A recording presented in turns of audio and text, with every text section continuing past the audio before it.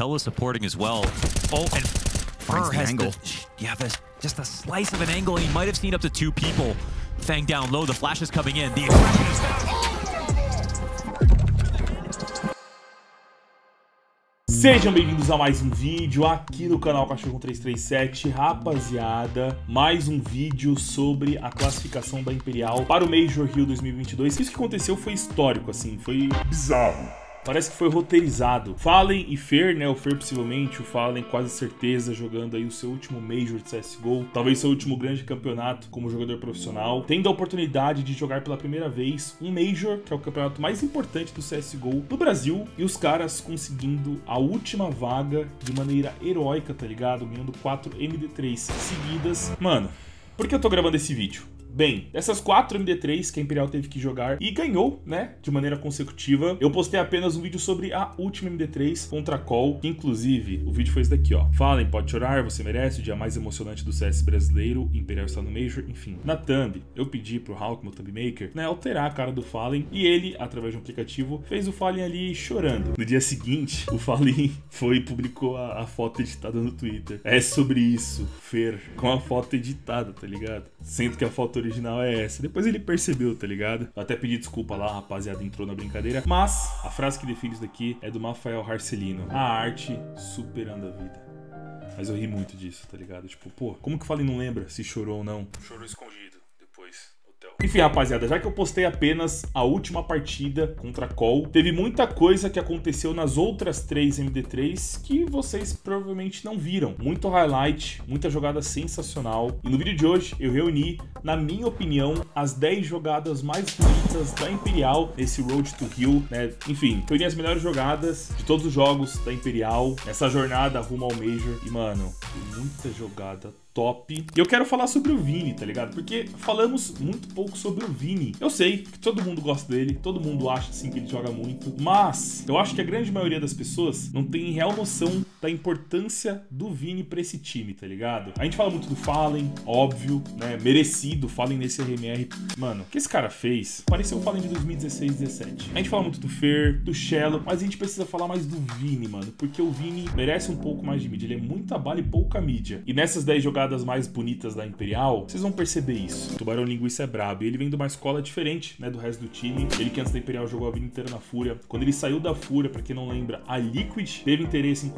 Não à toa. O cara joga muito pleno 2022. Chega, rapaziada, chega. Esse meme já saturou, mas esse mês, quem depositar no csgo.net utilizando o cupom pleno, além de ganhar 40% de bônus, participa do sorteio de 3 Butterflies Doppler, mais duas M9s Doppler, 5 skins para 5 pessoas diferentes. csgo.net, utilize o cupom pleno e preencha o formulário que tá na descrição. E vai que no começo do próximo mês, sua apita e o inventário mais caro do Brasil. Avalie.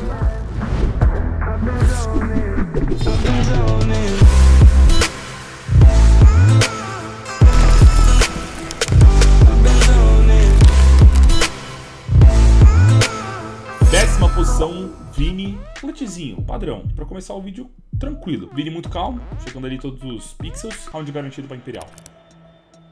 Fallen, não deixa plantar. Nossa, ele foi ali reposicionar. Cai o PKL, tem 11 segundos. O Vini vai chegando. Situação agora, um X2 dificílimo pro Vini. Bomba plantada. Vini consegue a kill e agora ele contra PKL. Quem leva melhor? Vini vai olhando, né? Ficou na expectativa aí se tinha avançado, se não tinha avançado. Vini tem uma flash, ele tem kit. Tá olhando aí, ó. Vini! Não, Kill importante. Vou aproveitar para ir no banheiro rapidinho. Nona posição, Fallen. Clutch. Não foi um super clutch. Tá na lista pela inteligência. Towards the right, but Max is behind them. You mentioned this earlier, and this is perfectly timed. He spots oh, one. Gosh. He's gonna spot a second. He saw the bomb. So much information. One kill. Beleza, Vini. Here, Vinny will find one on the AK on the NQZ. The op is taken down, but what a shot from Max. Not the second. Ferg gets the trade with the Tech 9. A bit of chaos, but Buddha's now down towards Zcon, as is his teammate David. They're going to spam. No such luck, though. Cello. Beleza, Cello. one, 2v2, excuse me. So a player towards the double doors and a player in the back calls. Fur runs forward and hopes of spamming him down. Does some damage, but doesn't get the kill. He's just trying to deny the defuse. Buddha now spamming. It's his turn, and he will not miss. It's now Fallen, the IGL 1v2. Ele parou, ele parou. Presente, professor. Ai. Beleza! Vamos! Meu amigo. Pra quem não entendeu, o jogador do 9Z clicou pra defusar a bomba, o Fallen abriu, conseguiu matar o que tava dando cover, e ao invés de ir pra cima direto do cara que tava defusando, ele recuou. Porque ele sabia que muito provavelmente o CT que estava defusando iria parar de defusar, porque ele imaginaria que o Fallen iria pra cima direto. Mano, olha o que passa na cabeça do Fallen, tá ligado? Mas não, ele voltou, recuou, finalizou o round. Oitava posição, Vini novamente. Não foi um super clutch, mas foi um clutch que só aconteceu pela inteligência na hora da movimentação. Uma movimentação simples, silenciosa, mas que garantiu o round. Se não fosse essa movimentação, provavelmente a Imperial não teria ganho esse round. Aí, né? Vamos ser sinceros. Tá quanto tempo, Tigrão? Vim boa aqui, eu não sei se eu fiquei muito à frente, velho. Não sei o que aconteceu. 20, 19, Ah, não, fiquei 18, atrás. 17, 16, Relaxa, relaxa, relaxa. 15. Último round aí, 2x2. Vini com 10. O Cafetão com 16. E aí tem, né? Boltalha e Cine que é ali com bastante vida, velho. 8 a 6. Ai. É tudo na mão do Vini. Ué. O que, que esses dois estão fazendo? O que, que esses dois estão fazendo, cara? Pra quem não percebeu, quando o Cynic entrou pelo sapão, ele viu que toda aquela região estava limpa. Nesse momento, o Vini estava escondido, marotado, com apenas 10 de vida, ali na região da água, do lado esquerdo do bomb. O Boltz morre e o Vini, aproveitando a smoke no cimento, silenciosamente vai para o outro lado do pilar, sem ser visto. Logo, os dois CTs imaginariam que o Vini estaria no céu, com saída, sem saída, atrás do bomb, mas nunca atrás deles. Afinal, aquela região, teoricamente, tinha sido limpa poucos segundos antes. Na sétima posição, Boltalha.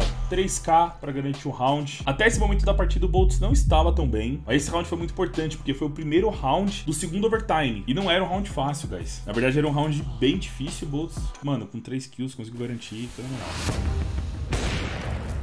Tem uma molotov nele, vai ter que reposicionar. O bomba é nosso. O bomba é nosso. Beleza, Cello. 3x3. O que era 3x5, quase que impossível, virou um 3x3. C4 plantada. Eles têm smoke. Olha.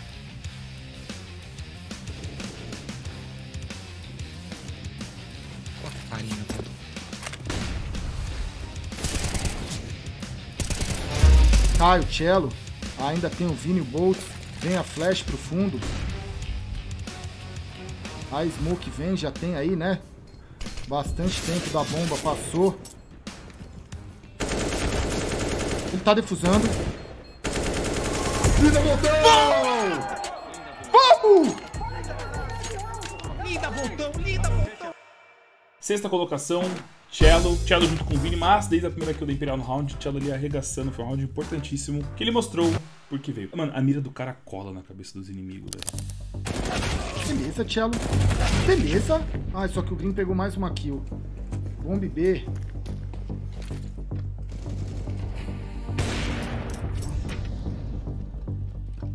Vamos plantar a C4? Maravilha. Tá na mão do Vini. É o Vini ou não é nada? Escuta, escuta, escuta, escuta.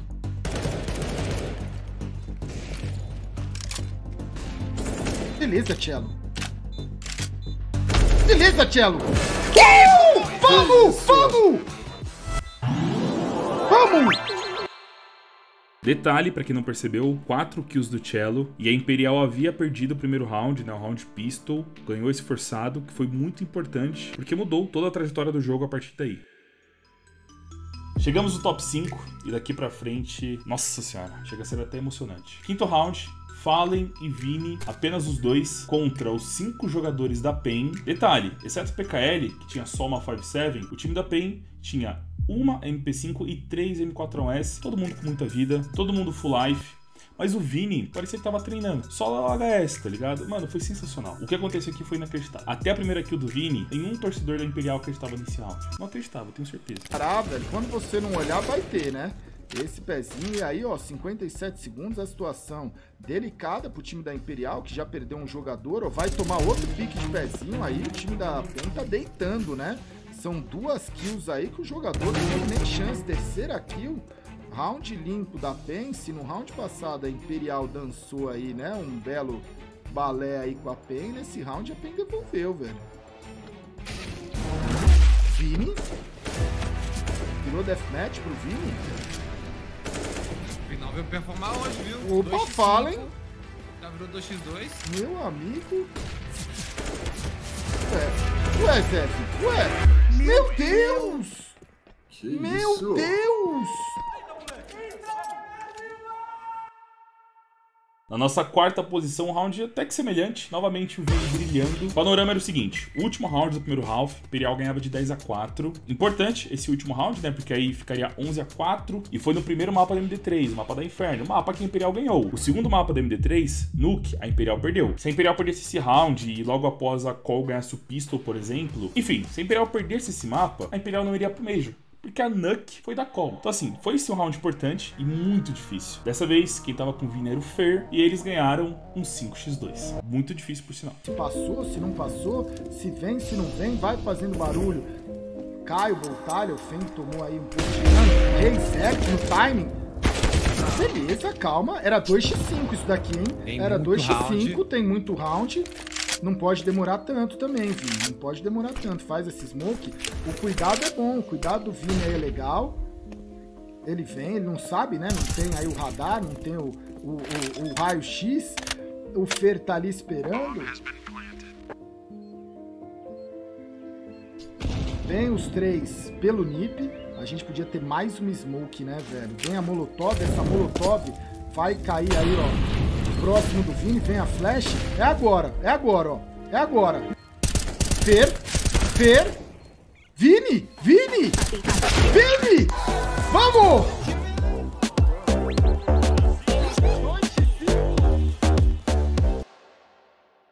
Terceira colocação, não é nem do Fallen e do Cello, é do Fallen e do Cello. Os dois encaixaram ali uma sincronia perfeita. Era um round muito difícil porque o Fallen tava com pouca vida. Ele tinha 15 de HP e não tava de Alp. O Cello conseguiu ganhar espaço, mano. Não vou falar, só vou mostrar pra vocês. Ele vai plantar, ó. O Cello vai plantar, Tigrão. Se plantar isso daqui tá ótimo. Vai, acredita, Cello. Acredita. Não, não, não. Sim, sim, sim. Opa.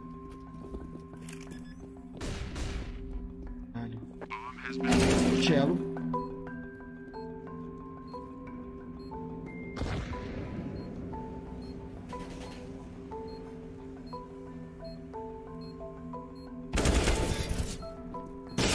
Cello.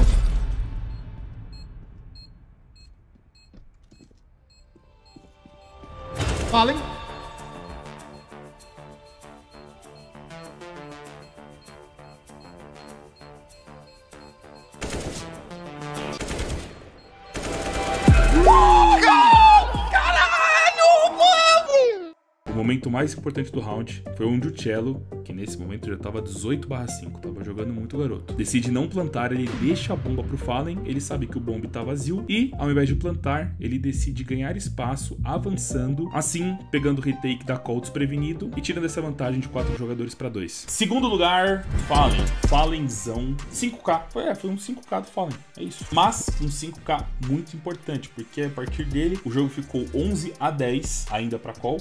Se tivesse perdido esse round, seria 12 a 9, ficaria bem difícil o jogo. E o Fallen jogou muito, 5 kills. Um frag sai, um frag sai. Beleza. Saiu. Já reposiciona. 8 segundos. Fallen sabe que eles vêm na correria. Beleza, Fallen.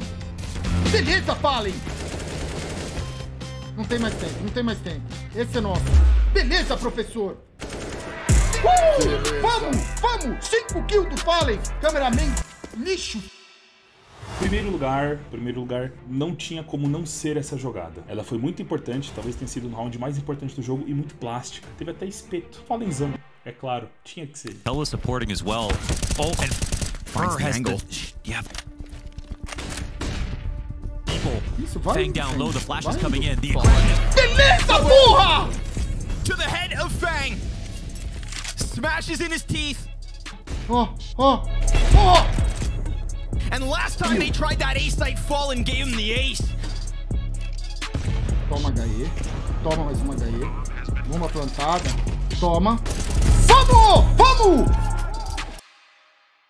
Esse round deu 15 ponto para a Imperial. Mesmo ganhando esse round, a Imperial perdeu o round seguinte. Ou seja, se a Imperial tivesse perdido esse round, no momento que a partida estava 14 a 14, teoricamente, a partida iria acabar 16 a 14 para Call e a Imperial estaria fora do Major, porque isso foi no último mapa. Mas não, Fallen garantiu um round, depois o jogo foi pro overtime e no segundo overtime a Imperial classificou. Então essa jogada plástica aconteceu, na minha opinião, no momento mais importante da partida. Porque, desculpa, não teria nada mais broxante e triste do que perder aquela partida por 16 a 14, cara. Nossa.